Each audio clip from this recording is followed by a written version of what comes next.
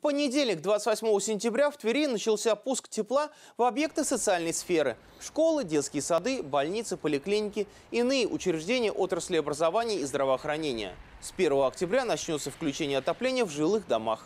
Напомним, что 17 сентября завершились гидравлические испытания тепловых сетей города. В общей сложности с июня по сентябрь на трубопроводах было выявлено и устранено 442 повреждения. Подключение объектов социальной сферы займет предположительно 2-3 дня с 28 по 30 сентября. Сразу после этого стартует пуск тепла в жилые дома. Планируется, что работы будут идти в течение 5-6 дней во всех районах города.